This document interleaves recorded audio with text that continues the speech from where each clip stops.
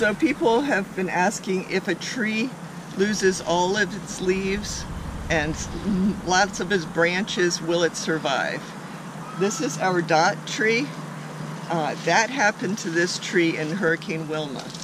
It was actually just a stump. We had to trim off the last parts of the branches that were ripped off of it and we were left with a stump. It was this high. This is where where the, the top was.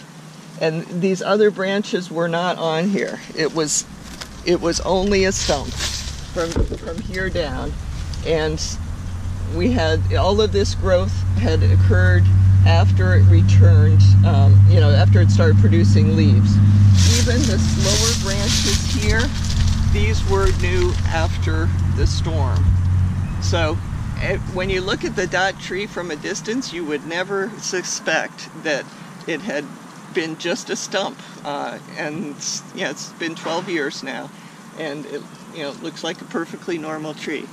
So um, that, has been my uh, experience with a, with that situation.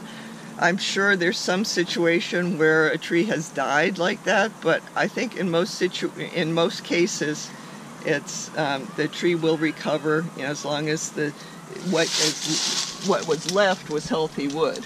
You know, we cut off everything that was damaged. So anyway, good luck with your trees.